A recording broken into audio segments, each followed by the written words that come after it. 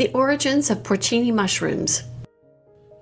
Hi, I'm Sheila May, the founder and owner of Gourmet Living.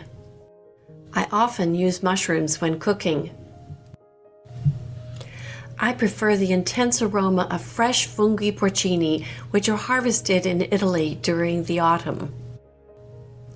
The best funghi porcini are found in Emilia Romagna, Tuscany, and Umbria.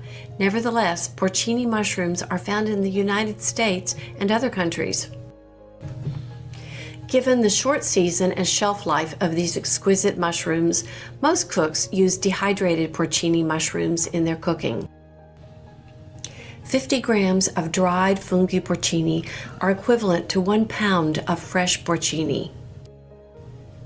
Today, it is almost impossible to find authentic dried porcini from Italy.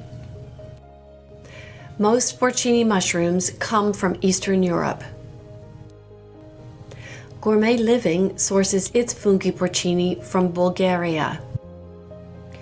The porcini are then dehydrated, cut, and packaged by skilled craftsmen near Florence. Texture and appearance are as important as the taste of porcini mushrooms. The next time you are preparing a risotto or a pasta, consider